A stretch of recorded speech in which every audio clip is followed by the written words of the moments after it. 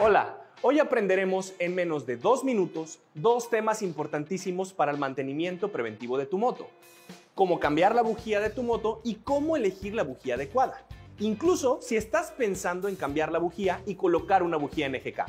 Ahora vamos a ubicar la bujía. Generalmente la bujía se encuentra en la parte superior del motor. Si tu bujía no se encuentra ahí, dale una revisada al manual. El manual también te recomendará las especificaciones y marca que debe de tener tu nueva bujía. Una vez localizada, vamos a quitar la bujía. Si puedes ver el número de parte solo quitando el capuchón, excelente.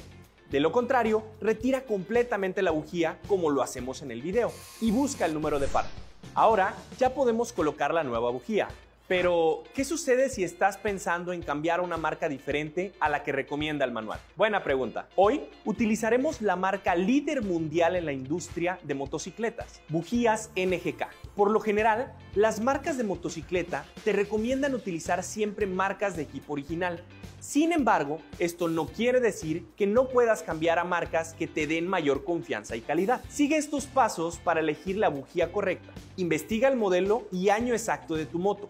Consulta la tabla de aplicaciones de NGK para encontrar la bujía compatible y asegúrate de que la bujía NGK tenga el mismo tipo de rosca, alcance térmico y características que la original.